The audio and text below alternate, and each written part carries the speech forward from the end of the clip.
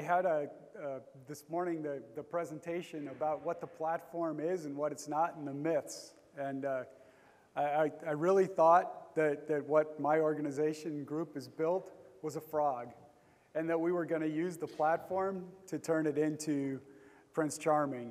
I'm not quite sure if that's going to work now because she told me that that was just a myth. But, uh, but I think we've got a really good foundation, and uh, we're going to talk about some of that foundation and those building blocks that we've built at Gulfstream and how we've used those building blocks uh, to, to transform our business. Um, and, and, and we hope to continue to do that through the process uh, uh, onto the platform one of the things we realized is that the platform that we chose, which wasn't really a platform, it's a SmarTeam, was good for one or two business processes, but it wasn't good for the entire um, ecosystem or environment that we have. So that's one of the main reasons that we're growing.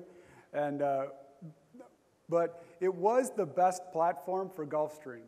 You, keeping things simple and starting simple is what we needed to do. And that's what we're going to go through is kind of our simple process and talk about how we can expand that uh, moving forward. So we started our uh, model-based design journey, 3D model-based design journey, on the G450 interior. We chose something that we thought was pretty simple, didn't have a whole lot of complex parts, uh, we like to talk about um, dumb parts because um, that's what that was. And we did um, purely 3D on our interior, and um, some installations have drawings and machined parts, but it was a business process of 3D. Um, all assemblies, build up. The reason, one of the main reasons, one of the main benefits we got out of this was we wanted to share parts across our six sites. Um, we we do completions um, in Wisconsin, in Long Beach, Dallas, and, uh, and, and, Savannah, Georgia, which is our headquarters. Um, we expanded that completions business um, to go uh, through the entire fleet, um, including the uh, G150 and 280, which are built by, um, by Israeli Aerospace Industries, um, and then certified by us and serviced by us. Um, so we, we then expanded from the interiors business model. We took the same business model and we moved it, just grew it again into, um, in, into the green airplane, as we call it, uh, with our flagship airplane, the G650, which was completely model-based design. We've since then um, built or designed and built the G500 and G600 concurrently, and those are in flight tests now. So what our solution was, was to use true 3D model-based design, make the, um, including fasteners, shims, hardware, veneer, whatever it was to make it visually look correct. Um, we always called it design for inspection.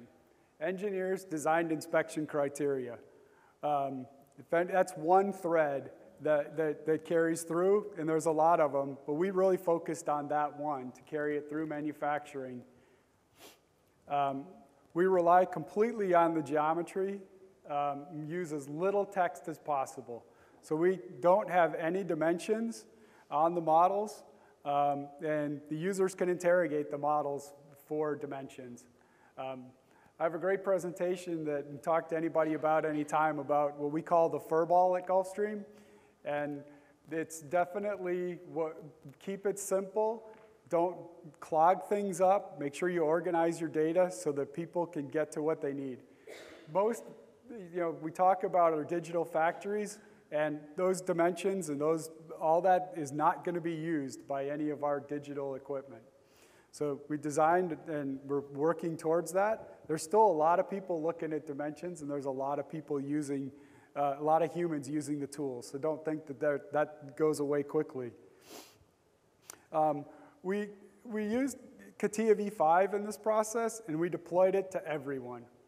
Everyone from engineering, manufacturing, quality, um, operations, right down to the shop floor, everybody uses CATIA V5.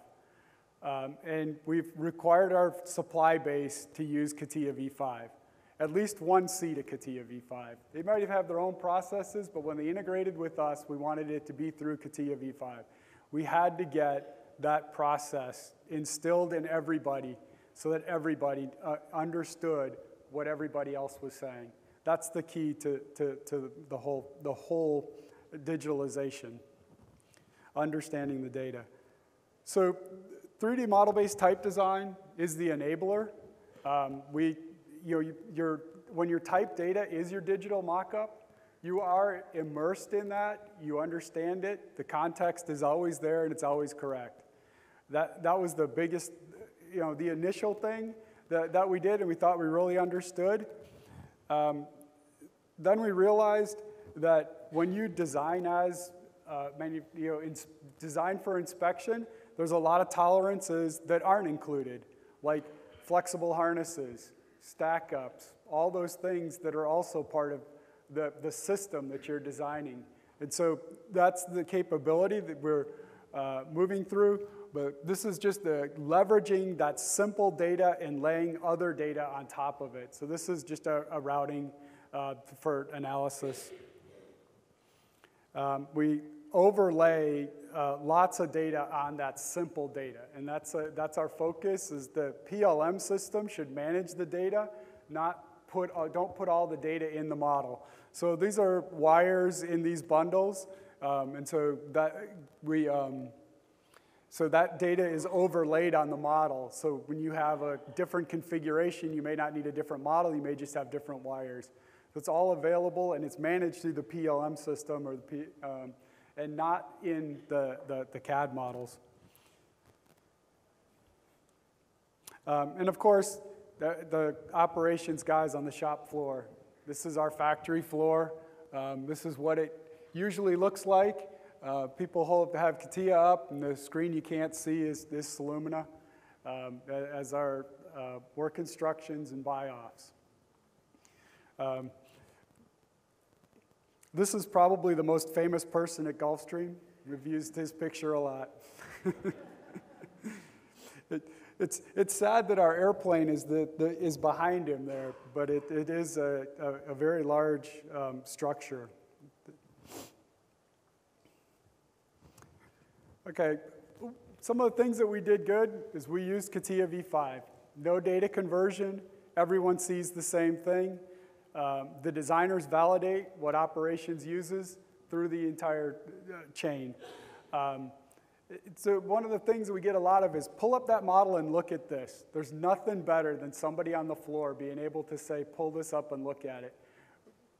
We're, we, we talk a lot about being able to um, see the same screens and all those kinds of things. But this gives you that ability um, back, you know, 10 years ago with CATIA V5. So we were, that was a big benefit that we had. Um, we restricted the use of CATIA V5 to entities that are supported by STEP. We spend a lot of time in the standards groups working with um, the data, the, the, the, smart people, trying to figure out what we can put in a standard, what's supported by everybody, because the data has to live. So we spend, we spend a lot of time in that area, and it helps us to understand our data. That's the recurring theme is know your data, know your data. Um, so again, we did the CAD for geometry, and we also had a rules-based EBOM based on the CAD structure. So the CAD was everything to us um, the pain. What comes from that? How does, what, when you have life of the product, life of the data, and our products live for as long as they do, um, it's, it's really, really tough to, to, to maintain that. So that's why we did that requirement for STEP, and we worked with the STEP uh, organizations and developers to get the pieces of the data that we needed into the models. And there's a few little things that we had to um, to wedge in with Gulfstream specific uses. But um, we still use V5 as our type data. It's just that simplified view. Um, my favorite story is, is engineers ask me, can I use this? Can I do that? And I say, well, get the STEP license, export it out, and import it back in. Whatever you have left, you can use. And they're not very happy with that statement. Um, so, anyways, data always goes corrupt, and it, it just is things that you have to watch for and understand. And people make mistakes. So, so this is one of my favorite slides, and I don't think I've ever presented it to the side, not in front of it, so I might have a little trouble pointing at it, but um, on the right side, you have interpreted data. That's really what the data is. That's what we're doing. That's the processes we're building is so that people can understand it. So how do you understand data? We, we train people. They interpret it. We train them. We train them a lot. Um, and then what are they interpreting? The presented data. What's what's presented in that screen? A lot of times we, um, we're good at doing system integrations to other systems and we document them and we know exactly what the impact is. We aren't so good at doing that um, with our human interfaces. And so this is sometimes, this isn't always human, but that's the, the main focus here is what we're looking at. We take the, um, uh, yeah, how do we get that data consistent so we can interpret it and make it live for 50 to 75 years? It's easy, just don't change anything. If we all just stay on floppy drives and we use the environment that we have, printers and you know, typewriters, it would be easy. Just don't change anything. Again, our engineers don't like us, and they get really mad. So we had to figure out a better way to do that. So we went to our, our, our STEP process, and we said we're going to simplify the data. We take those, um, the files and the data, and we understand that there's a lot of data in those files that we don't need. That's not, people aren't consuming. So we need to simplify it, make it easier. It's not just it is the right data at the right time, but it's the right data at the right time where you can find it, right? It's got to be clear. It's, these models are so complex. So this is what uh, one of our main goals. Um, our primary goals um, of the 3D experience uh, of the platform was to reduce the cost of this complex geometry. If we can get rid of that cost, there's a lot of things we can do. We want to use the type data in the process, not just as a byproduct. It's not just something that you archive, it's something that you use. Um, we leverage the 3D data whenever possible, so we want to make sure that we keep it back so the designer uses it. That same um, value stream that we had of not converting data, we want to get the designers to see the data so they know if there's, wait, this doesn't match. And consistent presentation to all, and keep it simple. Keep it simple, stupid is should be everybody's favorite uh, saying. Um, what we're doing is the solution is on, on the platform. We're going to um, integrate STEP AP242 into the uh, part design process, and we're going to use it throughout the build process and inspection. Um, we're going to leverage the ability to manage multiple file formats and, uh, and use them in multiple applications. So the presentation data will be that simplified format. Uh, this slide is really just a quick slide to show that if I only have five applications on the screen, we've just scratched the surface of what we're going to do with this data. So we're talking about that 3D shape, and we're going to grow it into the rest of the models. And I just wanted to kind of show that it's both, both thin and thick that we need these clients, and we need the type data all the way through the process.